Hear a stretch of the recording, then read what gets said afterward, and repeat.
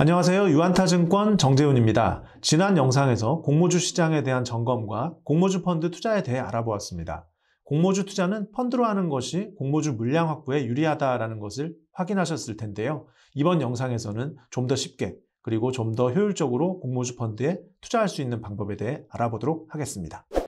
일반적으로 투자자들이 매번 일일이 공모주 시장 상황을 체크를 하고 또 여러 가지 투자 변수들까지 감안하면서 상황별로 적합한 펀드 골라내고 또 지속적으로 관리 병행하고 뭐 이렇게 한다는 것이 그냥 듣기만 해도 참 쉬운 일이 아닐 것 같은데요. 네, 말씀하신 대로 공모주 투자를 좀 효율적으로 하기 위해서는 어, 직접 투자보다 간접 상품인 이제 펀드를 투, 통한 투자가 필요하다고 말씀드렸는데요.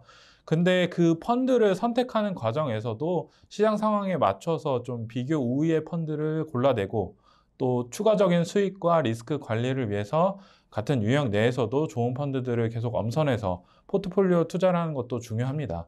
어, 이러한 일련의 과정들, 투자자들이 좀 많은 시간과 공을 들여서 직접 하시기보다는 전문가가 대신 해드릴 수 있는 방법이 있습니다.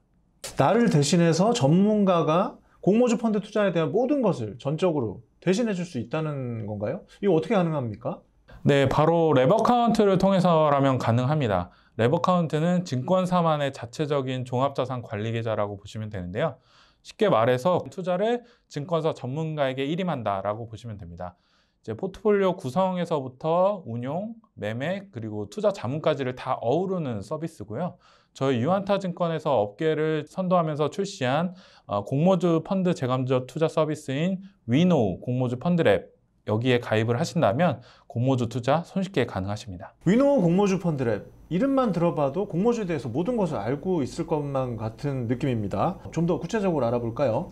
네, 한마디로 말씀드리면 We Know 공모주 펀드랩은 전문가가 공모주 펀드 투자를 대신해주는 집사 서비스라고 생각을 하시면 되겠습니다.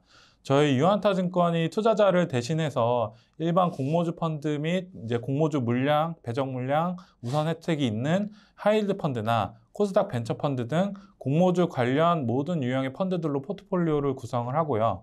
투자를 대신해 드리는 거죠. 여기에 더해서 시장 상황에 맞게 적극적으로 펀드 교체를 하고 공모주 일정을 고려해서 이벤트 드립은 전략으로 리스크 관리, 추가 수익을 동시에 추구하는 공모주 투자에 있어서 매우 효율적인 서비스라고 말씀드릴 수 있을 것 같습니다. 네, 방금 말씀하신 이벤트 드리븐 전략 굉장히 중요한 내용인 것 같은데요. 이게 좀 어, 많이 생소하고 낯설 수가 있을 것 같습니다. 이벤트 드리븐 전략 어, 떤 건지 좀 더 상세하게 좀 말씀 좀 부탁드릴까요? 좀 어려울 수 있는 내용이라 제가 이해를 돕기 위해 몇 가지 사례를 통해서 event driven 전략을 쉽게 말씀드려 보겠습니다. 첫 번째, 이제 코스피 공모주 상장할 때는 이제 5% 우선 배정 혜택이 있는 high yield 펀드에 대한 비중을 높이고요. 코스닥 공모주 상장 시에는 30% 우선 배정 혜택이 있는 코스닥 벤처펀드 비중을 늘리는 전략이 어, 첫 번째 event driven 전략이라고 볼 수 있겠고요. 두 번째는 이제 시장 변동성이 커지는 시기인데요. 시장 변동성이 커질 때는 대부분의 자산이 국공채에 투자되는 일반 공모주 펀드 비중을 늘리고 상대적으로 주식에 많이 노출되어 있는 코스닥 벤처펀드 비중을 낮추는 전략이 가능합니다. 그리고 반대로 시장이 과하게 하락해가지고 반등을 기대해 볼 수 있다면 일반 공모주 펀드 비중을 줄이고 코스닥 벤처 펀드의 비중을 늘리는 전략도 가능하겠죠. 세 번째는 이제 이미 펀드랩 안에는 여러 가지 펀드들이 있을 건데요. 그 펀드 중에서 어, 편입되어 있는 그 펀드 자산에서 긍정적인 이슈가 생긴다. 이게 예상이 된다. 이러면 해당 펀드에 대한 비중을 늘리고 근데 부정적인 이슈가 생길 때는 해당 펀드의 비중을 줄이던지 아니면 해당 펀드를 편출하던지 이런 식으로 좀 rebalancing을 하면서 추가 수익 창출하고 그다음에 리스크를 관리하는 전략이 있을 수 있겠습니다. 투자자가 혼자 여러 가지 펀드에 대한 고민이 따로 필요 없이 예, 위노 공모주 펀드랩 서비스 하나로 공모주 투자, 에 대한 고민이 해결될 수 있을 것 같다라는 생각이 듭니다. 네, 위노 공모주 펀드랩은 저희 유한타 증권이 좀 심야를 기울여서 준비한 서비스고 충분히 이제 공모주 투자 대표 금융 서비스가 될 수 있을 것으로 저희는 기대를 하고 있습니다. 어, 서비스 가입 자체는 이제 공모형 기준으로 봤을 때 최소 가입 금액 천만 원 이상이면 가능하고요. 어, 특히 수수료 부분을 말씀 안 드릴 수가 없는데요. 가입 금액의 1% 선취 수수료를 내야 하는 A형과 그 다음에 선취 수수료나 판매 보수가 전혀 없이 성과가 난 경우에 한해서만 성과 보수를 내는 B형으로 구분되어집니다. 이러한 수수료율 구조는 사실 투자자 입장에서는 매우 비용 효율적이다라고 말씀드릴 수 있습니다. 네, 말씀하신 대로 수수료 구조가 눈에 띄는데요. 일반적으로 금융상품이나 서비스에 가입하는 경우, 투자하는 경우, 기본적으로 수수료를 내야 되는 것으로 알고 있는데요. 위노 공모주 펀드랩 B형 같은 경우는 성과가 나지 않는다면 아예 서비스 기본 수수료를 내지 않아도 된다라는 얘기인가요? 네, 그렇습니다. 이제 B형 같은 경우에 뭐 음식점에 비유를 한다면 맛이 없으면 돈을 받지 않겠다라는 맛집의 컨셉이라고 하면 될 것 같은데요. 일단 기본 수수료 없이 오로지 고객은 이제 합의된 성과가 나는 경우에 한해서 그 성과의 일부만 수수료를 내시면 되는 거고요.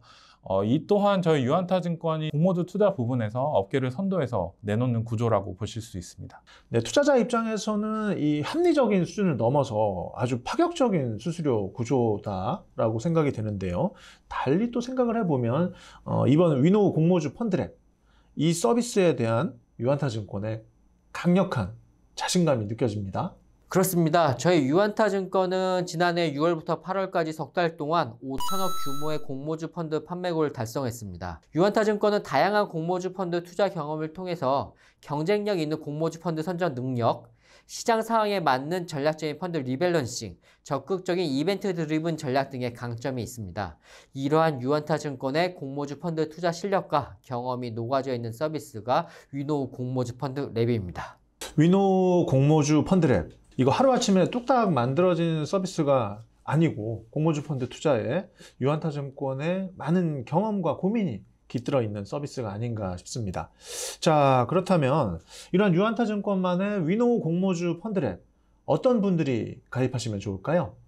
네, 먼저 직접 청약을 통해서 투, 공모주에 투자하시는 분들에게 유용할 것인데요. 일단은 번거로운 청약 일정 관리나 상장 예정인 수많은 기업들에 대한 분석을 투자자 본인이 직접 할 필요가 없습니다. We Know 공모주 펀드랩에 가입을 하시면 모든 공모주 일정의 스케줄을 체크를 하고 대신 투자를 해줄 뿐만 아니라 다양한 업종의 IPO 기업 리서치를 통해서 어, 상장 기업의 기, 가치 판단을 대신해 주기 때문에 보다 효율적인 공모주 투자가 가능할 겁니다. 그리고 전문가가 결국엔 다 알아서 스케줄이며 기업 내용이며 다 체크를 하기 때문에 어, 그런 부분에 있어서 충분히 도움이 되실 거고요. 다음은 이미 개별 공모주 펀드에 투자를 하고 계신 분들입니다. 이제 투자할 펀드를 직접 비교, 선택하고 또 투자 결정까지 해야 되는 그런 수고를 덜 수가 있는데요. 어, 다양한 공모주 펀드에 투자하는 위노 공모주 펀드랩의 어떤 서비스 특성상 이 펀드들을 포트폴리오를 구성을 해서 분산 투자를 하거든요.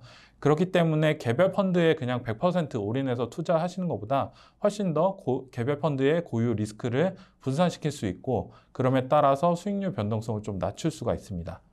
그리고 마지막으로 현재 좀 가격이 급등한 부동산이나 주식 등을 갖고 계시지 못한 그냥 마냥 현금만 좀 대거 보유하신 분들에게 좀 도움이 될 텐데요. 지금 뒤늦게라도 좀 주식 투자는 하고 싶은데 좀 급등한 주가 때문에 좀 이러지도 저러지도 못한 분들이 좀 있으실 거라고 생각합니다. 그런 분들에게 사실 공모주 투자는 시중금리 플러스 알파의 수익을 추구할 수 있는 어, 좋은 투자처가 되지 않을까라고 생각을 하고 있습니다. 자, 그렇다면 We Know 공모주 펀드랩은 대표적인 공모주 관련 펀드 유형인 일반 공모주 펀드, 그리고 코스닥 벤처 펀드, high yield 펀드 이런 펀드 모두에 투자를 하는 서비스이지 않겠습니까? 네, 근데 여기에 더해서 동일한 유형 내에서도 여러 운용사들로 펀드들을 나눠서 포트폴리오를 투자를 하는데 이렇게 포트폴리오 투자를 해야 하는 이유는 무엇일까요?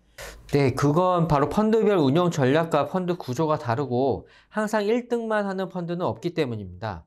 펀드 운영 전략과 구조가 시장에 얼마나 더 적합하는지에 따라서 또는 매니저의 투자 의사결정이 얼마나 좋았는지에 따라 펀드 성과는 차이가 날 수밖에 없습니다. 보시다시피 동일한 유형의 코스닥 벤처 펀드를 하더라도 펀드마다 수익률은 제각각이죠. 1등을 하는 펀드가 항상 1등을 할 수는 없습니다. 1등을 할 수 있는 한 개의 펀드를 매번 선정하는 것은 불가능하기에 포트폴리오 투자가 꼭 필요합니다. 또한 포트폴리오 투자를 통해 분산 투자 효과도 노릴 수 있고요. 네, 매번 1등하는 펀드를 골라내시면 안 될까요? 네. 네, 차트를 보니 수익률의 차이가 있을 뿐만 아니라 또 모든 공모주 펀드가 다 수익이 나는 것 또한 아니라는 것도 알 수 있을 것 같습니다. 네, 수많은 공모주 펀드들 중에서도 옥석을 가려내서 투자해야 한다는 점을 다시 한번 예, 생각하게 되네요. 네, 그렇습니다. 높은 수익도 중요하겠지만 마음 편하게 성과를 내는 것이 더 중요하다고 생각합니다. 따라서 전문가에 의해 선별된 여러 개의 펀드의 분산 투자에서 리스크 및 변동성을 낮추는 게 성공적인 투자를 위해 꼭 필요한 전략이라고 생각합니다.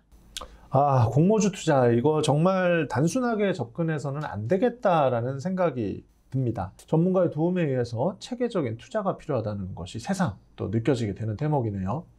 네, 그렇습니다. 이렇듯 이제 전문가에 의해서 엄선된 다양한 공모주 펀드에 포트폴리오로 투자가 가능하다는 점, 그다음에 지속적으로 또 관리가 가능하다는 게 어, 위너 공모주 펀드랩의 본질적인 투자 이유가 아닐까라고 생각합니다.